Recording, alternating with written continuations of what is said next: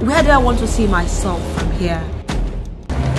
It's a very challenging world, especially when you're starting as a nobody. You that is starting from scratch, that you need other people's support to build on your idea, you need other people's support to build on your creativity. It's a whole thing.